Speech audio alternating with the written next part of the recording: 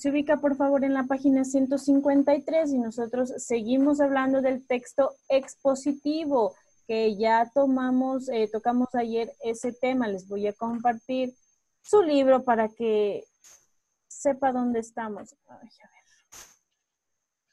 Un segundo.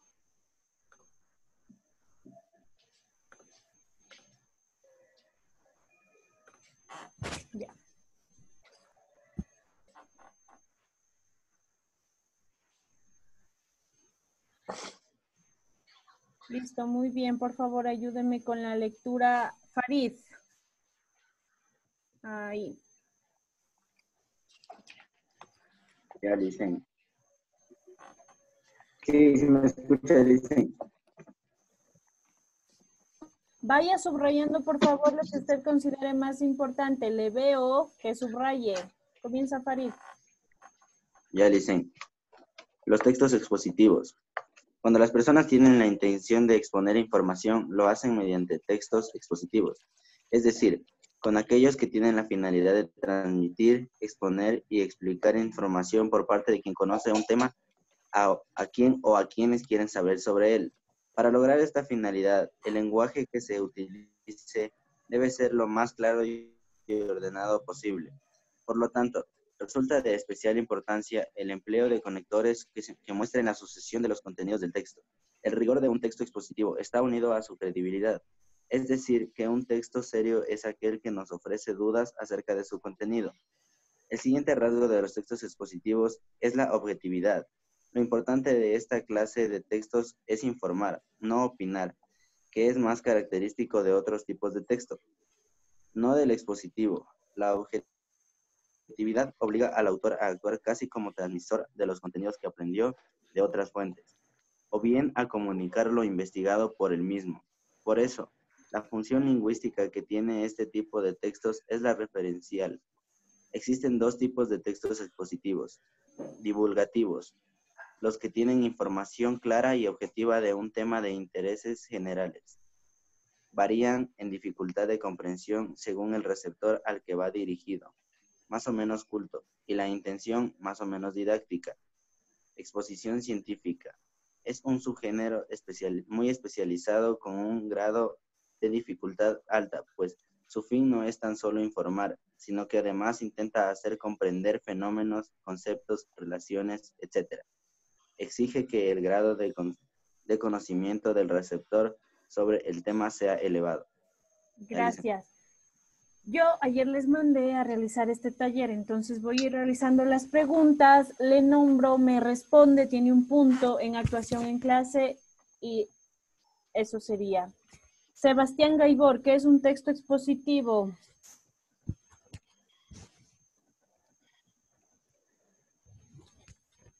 Vamos, está en su taller que ya realizó. Yo listo. Yo Sebastián Gaibor, Sebastián Gaibor.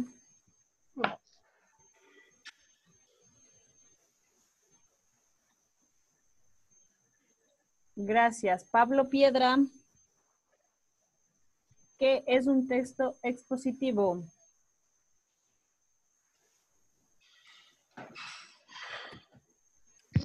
Es un texto para exponer información.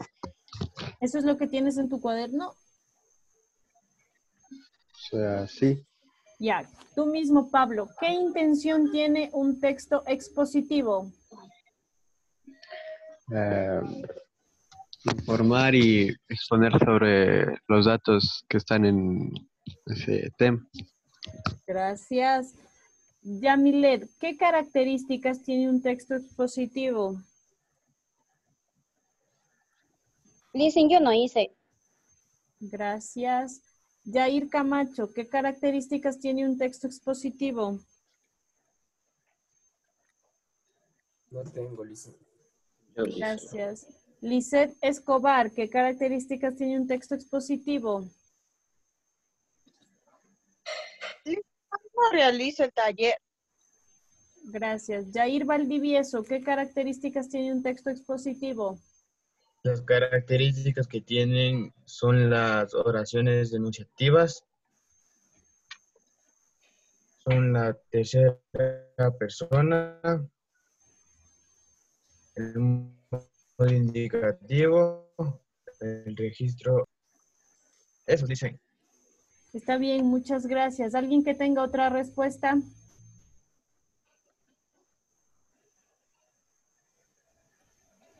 Gracias. Continuamos con la lectura. Ayúdeme, por favor, Natalia. Eh, leo lo que dice la estructura de un texto expositivo. Ajá. La estructura de un texto expositivo. En los textos expositivos las ideas se organizan en torno, a tres grandes ejes. Introducción. Se presenta el tema de que se trata el texto, sus antecedentes y contexto. Busca con, contestar a la pregunta qué, por qué y cómo. Desarrollo. Presenta la explicación del tema y los subtemas hasta, la, hasta su finalización. Se trata de una frase de resolución. ¿Por qué es, está compuesto de? Conclusión. Cierra la expresión resaltando los principales aspectos desarrollados. Se presenta de la frase de la evaluación. Así pues, con, como conclusión, etc. Gracias, Natalia. Tú mismo, ¿qué otro texto tiene esta misma estructura que yo recién les di? El objetivo. ¿Qué otro texto tiene esta estructura? El ensayo, gracias. ¿Quién me respondió? Cárdenas. Gracias, Cárdenas. Ya, muy bien. Como se puede dar cuenta, en la mayoría de textos que son formal académicos, tiene la estructura de una introducción, un desarrollo y una conclusión. Eso, grábese. Usted ya leyó este texto, yo ya le mandé, así que voy a preguntar, ¿dónde están las características que le hacen expositivo? Me ayuda, por favor, Helen. Yo no hice porque no estoy en mi casa, en la internet. Entonces, no, no tengo los cuadernos ni el... Está bien, gracias. Steven Granizo. Yo.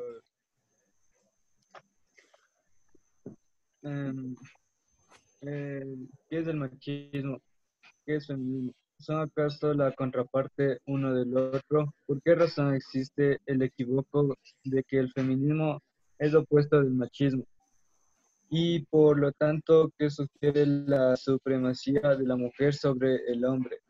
Porque ciertas actitudes en los hombres son calificadas de machismo y otras actitudes en las mujeres de feminismo. Empecemos por definir cada uno de los conceptos, pues ahí es donde radica principalmente la confusión.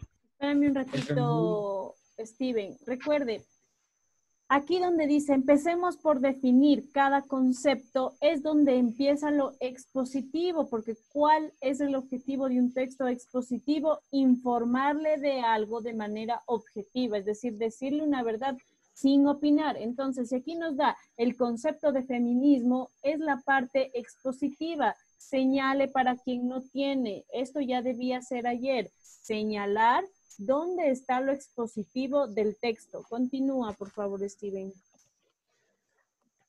El feminismo es un movimiento social de mujeres que se inició hace más de 200 años.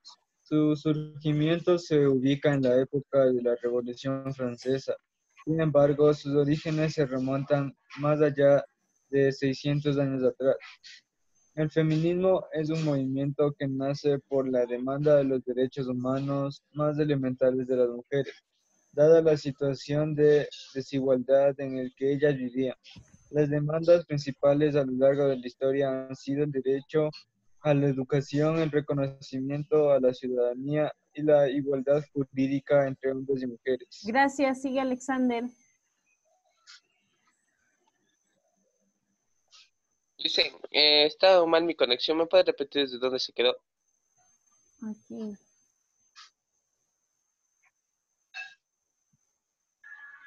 Las corrientes de pensamiento feminista no aspiran a la supremacía de las mujeres por encima de los hombres.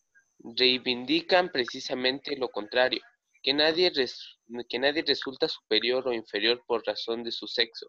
Como bien dice la, drama- la dra Marcela Doctora. Lagarde. Ah, la doctora la Marcela Lagarde. Feminismo es humanismo. El feminismo resume siglos y siglos de esfuerzo de miles de mujeres y de hombres que lucharon para cambiar la situación injusta y aberrante. ¿Sigo? Sí. Pasamos ahora a la definición de otro concepto que nos convoca ahora, el machismo. A pesar de que todos lo recono- reconocemos, la realidad es que no es tan sencillo de- definirla. Gracias. Siga Darlene. El machismo es... Espérame, espérame un ratito.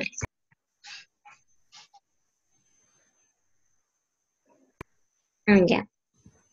El machismo es una actitud, un comportamiento, podemos afirmar que es el cumplimiento de un rol donde siempre se establece una relación de desigualdad entre posiciones de, posiciones de superior e inferior. Tiene componentes económicos, sociales, históricos, culturales, psicológicos. Se trata de un tema interdisciplinario del cual existe pocos expertos. Eh, Castañeda 2002. No es un asunto exclusivamente personal, también juega un papel central en la vida pública, pues atraviesa la estructura y funcionamiento de nuestras instituciones. Gracias. Siga Sheila.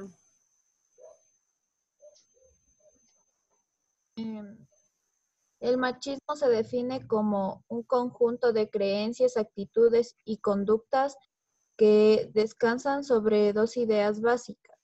Por un lado, la po- polarización de, de los dos sexos, una contraposición de lo masculino y lo femenino según la cual no solo son diferentes, sino mutuamente excluyentes. Por otro lado, la superioridad de lo masculino en las áreas consideradas importantes para los hombres. Gracias. Siga Andrés.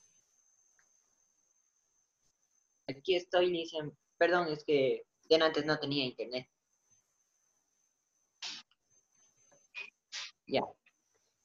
No solo se da en la relación hombre-mujer, sino que consiste en toda una serie de factores y patrones de conducta que afecta a todas las relaciones interpersonales. El amor, el sexo, la amistad, el trabajo, el tiempo libre. Todo esto incluye la pretensión del dominio sobre los demás, principalmente sobre las mujeres, la rivalidad entre los hombres, la búsqueda múltiple de múltiples conquistas sexuales, la necesidad de exhibir ciertos rasgos supuestamente vi- viriles, como la fuerza, la valentía, la indiferencia al dolor y un abierto desprecio a todo aquello que se considere femenino. Castañeda 2002. Gracias. Siga Gabriel. No, ni molija. Aquí. Ya. El machismo no solo es un rasgo de carácter, sino una forma de relacionarse, pues siempre se exhibe en el el otro o la otra. Ya. Glosario. Lee tú mismo. Antagonismo, opción, rivalidad, aberrante, que se aparta de lo que se considera normal o lógico. Ya. Gracias. Pablo. No, ¿dónde nos quedamos?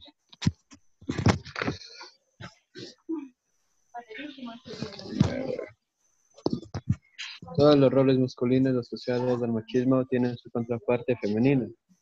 Por ejemplo, la mujer insegura de sí misma, que depende para todo del marido, que duda de sí misma, que busca la atención y aprobación en todo. El marido, el padre, el hermano, el jefe, etc. Siempre les tiene miedo y acepta sin chistar las reglas del juego que ellos imponen para no buscarse problemas. Gracias. Siga, por favor, Emilia. Ya. Aquí nos surgen varias preguntas. ¿Por qué tantos hombres cultivan el machismo como modelo de la masculinidad? ¿La conducta machista es innata o es aprendida? ¿El machismo es una acti- actitud o conducta exclusiva de los varones? O también encontramos en las mujeres. Desde los estudios de género, de sociología, antropología, historia, etnografía, se llega a la conclusión de que el machismo no es innato, es aprendido, como es una conducta aprendida. También las mujeres la aprendemos y la reproducimos. Pero dado que no es innato, sino aprendido, se puede desaprender y aprender otras maneras de ser hombre. Gracias. Por favor, irá subrayando, pintando, encerrando toda la información que le está aportando este texto. Recuerde que lo expositivo le está informando algo que usted no sabía. Subraye. Continúe con la Hay que subrayar todo. todo lo que es información importante, Gabriel. Siga, por favor, Javier.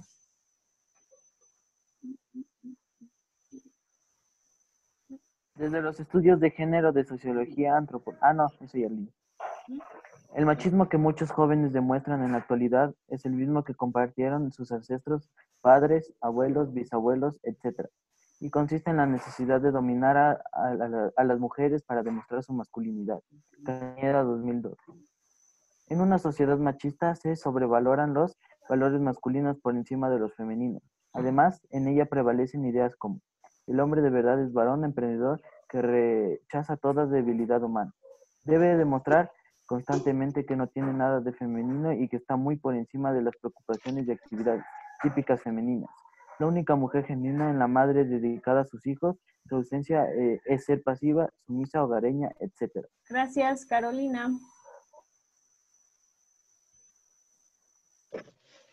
Esta visión esencialista de los textos que supone a los hombres duros e implacables y a las mujeres sensibles e irracionales nos condena a desempeñar papeles opuestos y estereotipados. Castañeda 2002. Sigo. Dividir el mundo y los quehaceres en espacios femeninos y o masculinos nos empobrece a los hombres y a las mujeres por igual. Gracias. John Jairo López. Ya listo. Algunas formas, trampas de machismo. La descalificación es una maniobra de poder y al mismo tiempo un, eh, y al mismo tiempo un arma poderosa del machismo. Una manera de descalificar a las mujeres es tratarlas como si fueran invisibles. Solo existen para facilitar y amenizar el intercambio entre los varones. Otra forma de descalificación es tratar a la mujer como sirvienta, llamarlas para que traiga el café o busque cualquier cosa a cualquier hora del día o de la noche. Y otra más es tratar a las mujeres como eternas, menores de edad, como incapaces de tomar decisiones, de salir solas, de emprender cualquier cosa. Gracias, Emily.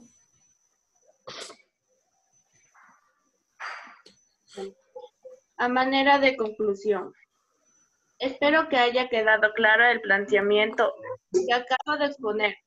El feminismo es un movimiento social, no es odiar a los hombres, ser lesbiana o ser mala madre o esposa. Y, y entregarse al libertinaje sexual, que el machismo es una actitud. Es desempeñar un rol aprendido y por lo tanto no se correlaciona uno con el otro. El machismo no necesita de hombres y mujeres como tales, solo necesita de sus roles. Lo único que requiere es una relación basada en la desigualdad. Castañeda 2002. Ya, gracias. Aparte de que usted ya señaló dónde está la información que le brinda este texto, por favor, indique también, divida su texto en introducción, desarrollo y conclusión. Introducción, como le decía aquí, presenta el tema, le da antecedentes, contextos y el desarrollo presenta ya eh, los subtítulos del, del problema. La conclusión es lo que acaba de leer Emilia, pues aquí dice a manera de conclusión. Entonces, por favor, señale cuál es la introducción.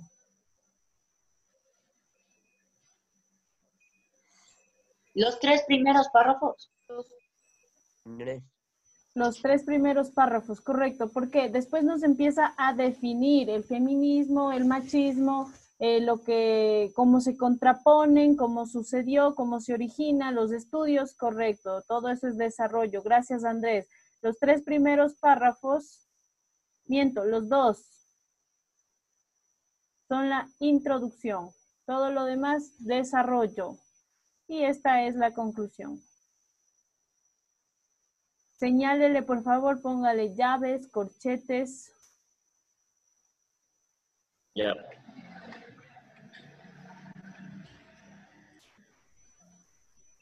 Ya listo. Vamos a, usted en casita, por favor, me realiza la actividad 8. Ayer ya hizo la 4, 5, 6, 7. Ahora va a ser la 8. En, ahí, después de clases la realiza. Vamos a leer, por favor, la parte de la pregunta 9. Solo la 8 hacemos de deber. Ah, Ajá, la 8 es el deber, sí. Seguimos con la 9.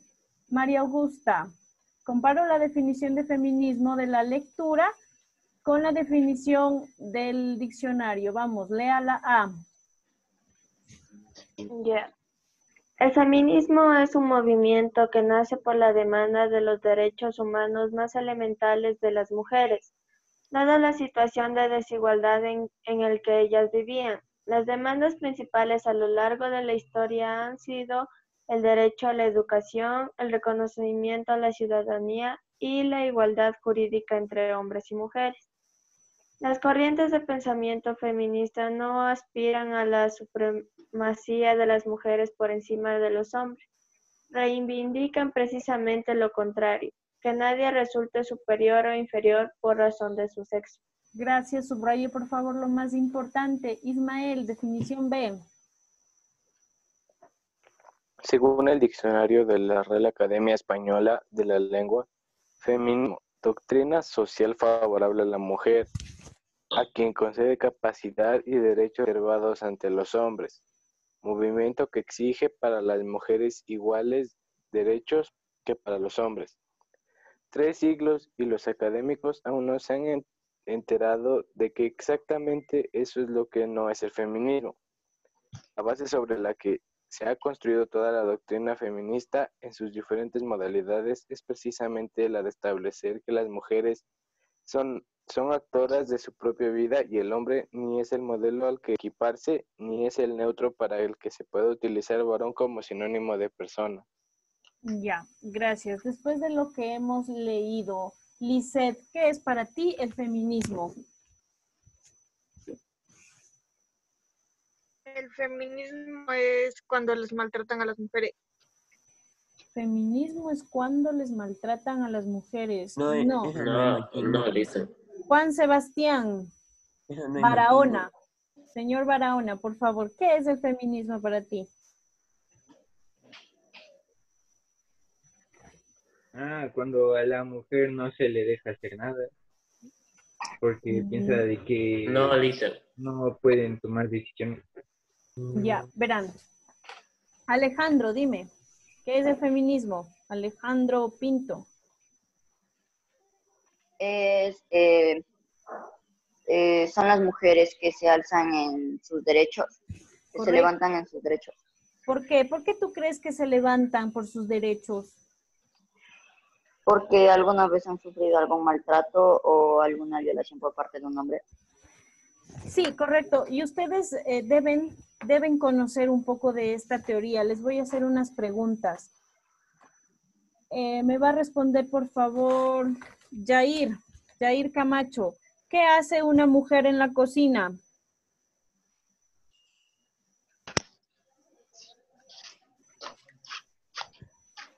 Jair, ¿qué hace una mujer en la cocina? Buenas noches, Yoli. Espera, Gabriel. mm, los alimentos para las para las demás familia. Ya, cocina, ¿qué más? Eh, hace el, lava, eh, lava los platos. Ya, ¿qué más? Mm, y ya creo que nada más. Dice. No. Ah, nada más. Bueno, barra y trapea y limpia, ¿cierto? Ahora me vas a Ah. decir tú, David Llanos, ¿qué hace un hombre en la cocina? A ver. No, no sé. Por ejemplo, digamos, ayudar a la mujer cuando está cocinando, repartir los platos. También puede ayudar cuando están lavando los platos, ayudar cuando prepara la comida. y eso. Correcto. Bien. Eh, dime, por favor, Ariel Segovia, ¿qué hace un hombre en la cocina?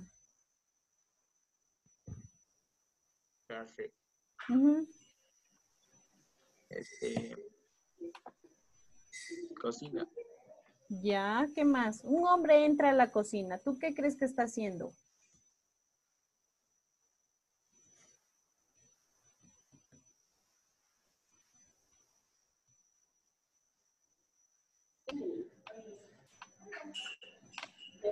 Un hombre que dijo Es- en la cocina. Ajá, un hombre entra a la cocina. ¿Qué crees que está haciendo? viendo lo que están haciendo en la cocina. Ya, correcto, muy bien. Viendo lo que están haciendo en la cocina. Gracias. Joseph López, ¿qué crees que hace un hombre en una ferretería?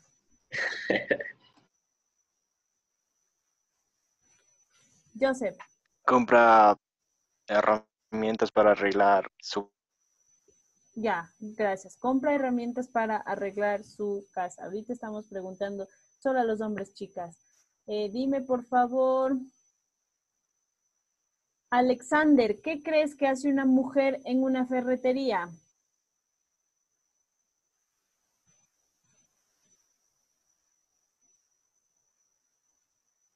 Gabriel, ¿qué crees que hace una, mu- eh, una mujer en la ferretería? Eh, trabaja, Trabaja ahí, ya, bien. ¿Qué crees? Al, no, a ti ya te pregunté. Quiero más respuestas. Jair Valdivieso, ¿qué crees que hace? y. Ya, correcto, gracias. Jair, Jair Valdivieso, ¿qué crees que hace una mujer en una ferretería?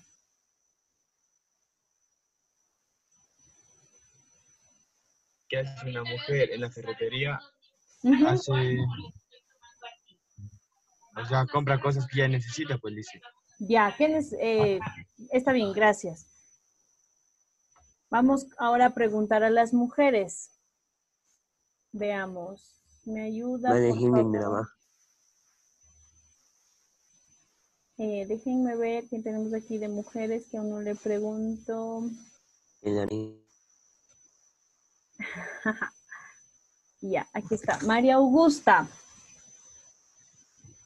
¿Qué crees tú que hace un hombre en una construcción Construir. y una mujer en una construcción? ah, También puede ser. Ya, no puede ser. Dime. ¿Mande?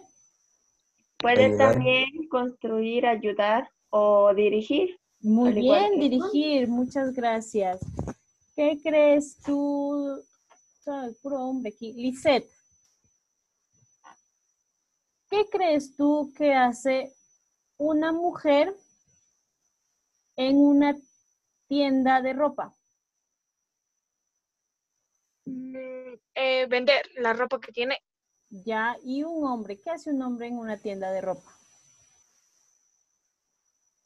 No, lo eh, puede comprar ropa, o sea, para, para caballeros y todo eso.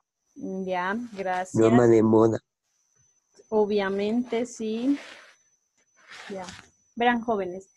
Esta, esta respuesta que me dieron ustedes con respecto a la cocina es al punto que voy con esto de por qué hay feminismo. Antes de salir del, de compartir la pantalla, recuerde que su tarea es la pregunta 8. Así que tiene que enviarme al correo la 45678, porque es de ayer y de hoy. Hasta ahí quedamos. Ahora bien, el feminismo surge porque precisamente, ahí decía en el texto, no es una conducta que nosotros, eh, que, que sea innata, que nacemos con ella, sino que hemos aprendido. Desde pequeños, Darlene, ¿qué juguetes les dan a las niñas? Las cocinitas, Ya las cocinitas, y a los hombres, los carros. los carros. ¿Por qué? Porque ¿qué van a hacer en el futuro?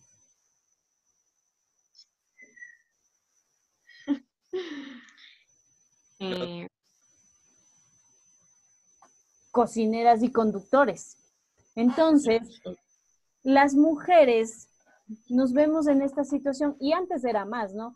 Donde una solo tenía que estar en la cocina, cuidando a los hijos y siendo mantenida. Antes surge este movimiento porque la mujer se ve reprimida ante el machismo. El machismo es donde el hombre se impone frente a la mujer por fuerza física, sobre todo, y, de alguna manera asumen que por superioridad intelectual, pero eso no es así.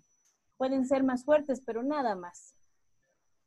Entonces, Exacto. la mujer se ve en la necesidad de buscar una manera para sobresalir. Como les digo, antes la mujer no trabajaba ni aspiraba a, a un gran trabajo y bien me dijo eh, María Augusta que la- si una mujer está en una, en una construcción puede estar dirigiendo y actualmente es así. Entonces el feminismo no busca de ninguna manera que la mujer sea superior al hombre, lo único que busca es que tengan igualdad de oportunidades. Hay muchas ocasiones y aún hay lugares donde el hombre gana más que la mujer y realizan el mismo trabajo. Es algo que uno se puede creer, pero existe. Entonces, eh, imagínense qué injusto que es para la mujer realizar un trabajo igual al del hombre y ganar menos. Entonces, las mujeres feministas buscan igualdad de oportunidades y de derechos. No les voy a negar que hay el extremo del feminismo y es el que ustedes han de haber visto, que hay mujeres en la calle que, están desnudas, que quieren eh, hacer resaltar su, su feminismo. Eso es un extremo. Y recuerden, jóvenes, los extremos siempre son malos. Hay que buscar siempre una equidad, ni muy machistas ni muy feministas, porque la superioridad de la mujer sobre el hombre también es un abuso y eso no se quiere lograr. Entonces, por favor, lea las preguntas, vuelva a leer su texto, las completa, me envía al correo, las sube al portafolio y eso sería todo conmigo. ¿Alguna pregunta? No, listo. Para bueno, Elisa. Dime. ¿Va a dejar para mañana? Claro, para mañana puede ser sí, Gabriel. Que se ponga- que se ponga a hacer hoy para que pase libre su fin de semana. Y un minuto.